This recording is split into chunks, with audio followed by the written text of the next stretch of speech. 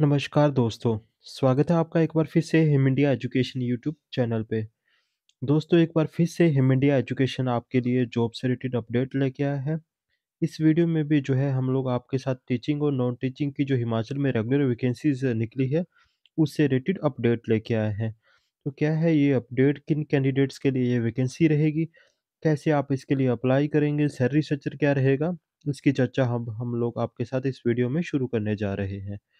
तो दोस्तों अगर आप हमारे चैनल पर पहली बार जुड़े हैं, चैनल को सब्सक्राइब, बेल बटन को ऑन ज़रूर कीजिएगा ताकि जब भी हम लोग वीडियो की अपडेट्स लेके आएँ हिमाचल के जॉब की, वो आपके तक जो है इन टाइम पहुँच सके। ये जो जॉब अपडेट्स है इसमें जो है जे फार्मासिस्ट, लैंग्वेज टीचर, शास्त्री और प्लम्बर के लिए वैकेंसीज़ आउट हुई है। इस वैकेंसीज़ को जो है जूटोग कैंट जो कि कैंटोनमेंट बोर्ड है हिमाचल प्रदेश के ज़िला सोलन में, उनमें जो है भरा जा रहा है। इन वैकेंसीज़ जो को है जो रेगुलर बेसिस पे भरा जा रहा है, तो इसमें जो सैलरी भी आप दे सकते हैं, आपको सीधी डायरेक्ट जो है रेगुलर सर्विस सैलरी दी जाएगी और ये जो सैलरी रहेगी हिमाचल प्रदेश के न्यू स्केल के अकॉर्डिंगली रहने वाली है।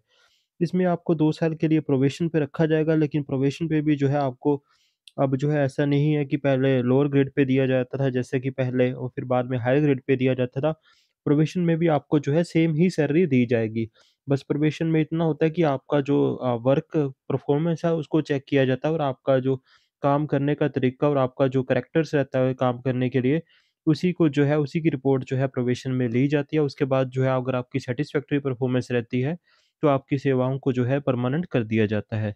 तो ये रूल जो है इस बोर्ड में फ़ॉलो होने वाला है।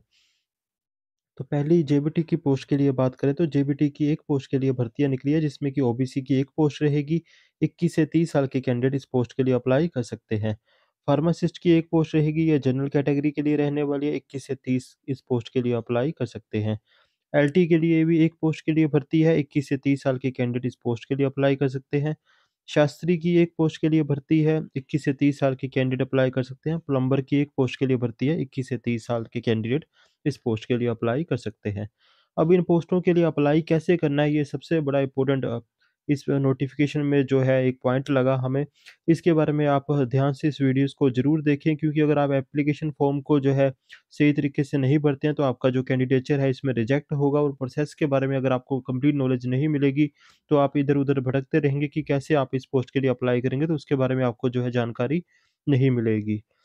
तो इसमें सबसे पहले क्वालिफ़िकेशन की बात करें तो जेबीटी के लिए अगर आप इसमें से किसी भी एक क्वालिफ़िकेशन को जो है फुलफ़िल करते हैं और का मतलब होता है कि आप दोनों में से या इन सभी में से कोई भी एक क्राइटेरिया को आपको जो है फुलफ़िल करना है।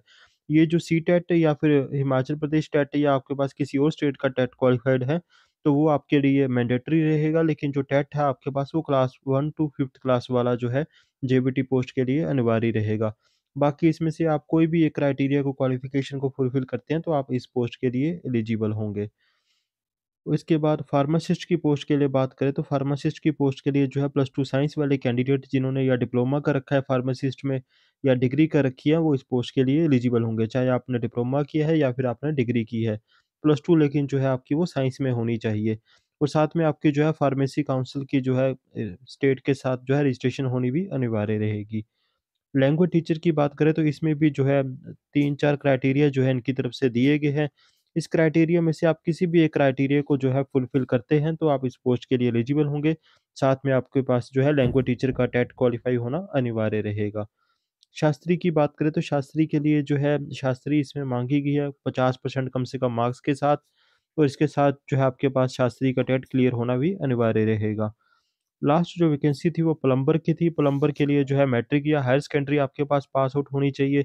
उसके साथ आपके पास आईटीआई प्लम्बिंग का जो है तीन वर्ष का एक्सपीरियंस होना आईटीआई पास आउट होने के बाद अनिवार्य रहेगा, तभी आप इस पोस्ट के लिए एलिजिबल होंगे।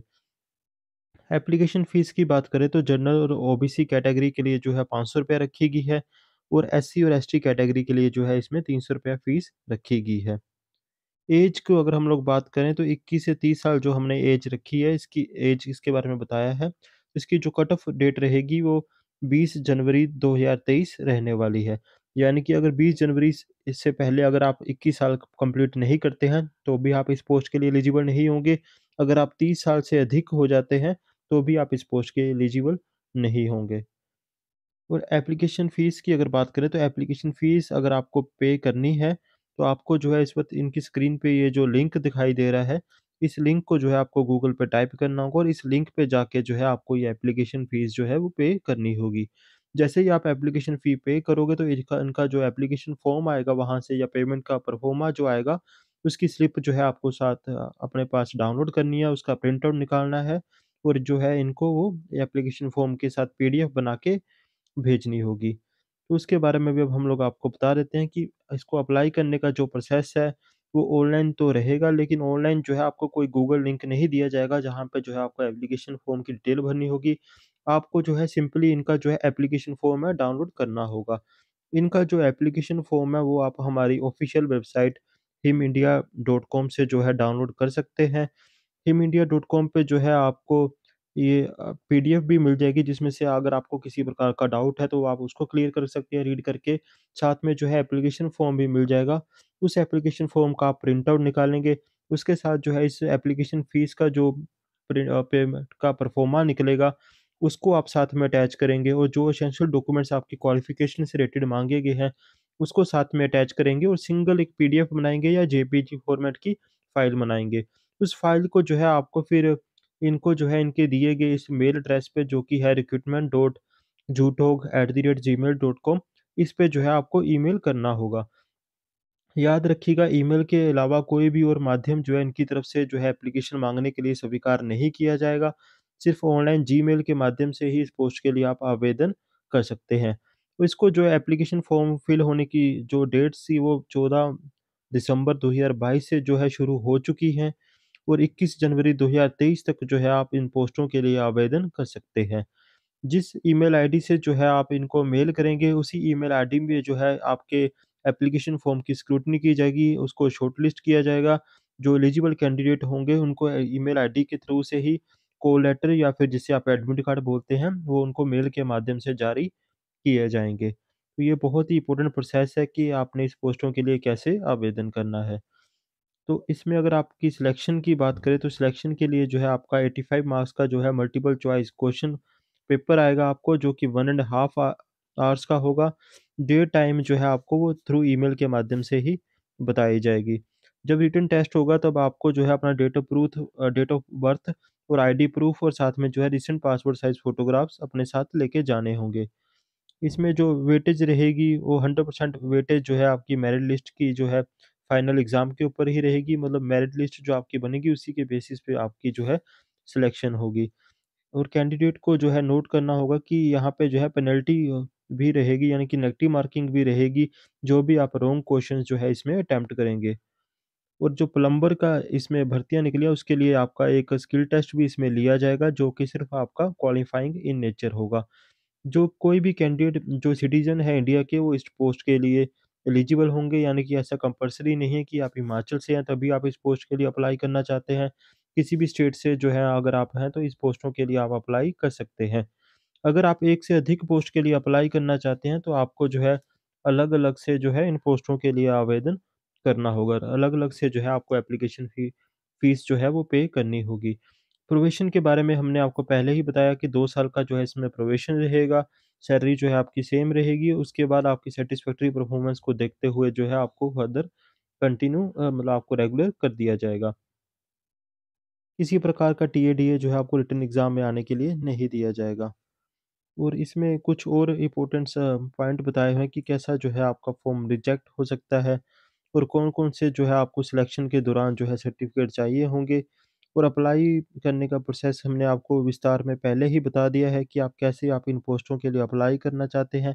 फिर भी किसी प्रकार की अगर आपको इसकी पीडीएफ रीड करने की ज़रूरत होगी तो आप इस पीडीएफ को डाउनलोड करके खुद भी इसको रीड कर सकते हैं। तो इस एप्लीकेशन फ़ॉर्म की एक कॉपी और इस जो पेमेंट आप पे करेंगे इनको उसकी एक कॉपी अपने साथ भी ज़रूर रखें, ताकि किसी प्रकार की भी अगर फ़र्दर आपके पास इंक्वायरीज़ आती है इनके डिपार्टमेंट की तरफ़ से, तो आप जो है उसको सॉर्ट आउट कर सकें। तो ये हम हमारा अपडेट था दोस्तों आज का आपके लिए। इसकी सिलेबस की बात करें अगर तो जेबीटी के लिए आप देख सकते हैं कि 200 मल्टीपल चॉइस का जो है आपके पास पेपर आएगा।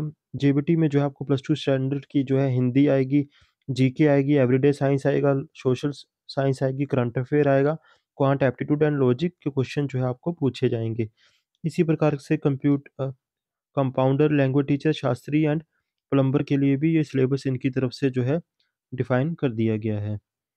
तो ऐसे ही अगर आपको डेली जॉब से रिलेटेड अपडेट चाहिए तो चैनल को सब्सक्राइब और वीडियो को अधिक से अधिक शेयर ज़रूर करें, ताकि जितने और भी एस्पिरेंट हैं उनके तक भी ये इन्फॉर्मेशन जॉब से रिलेटेड पहुँच सके। फ़िलहाल इस वीडियो में इतना ही। Thank you for watching. Him India Education.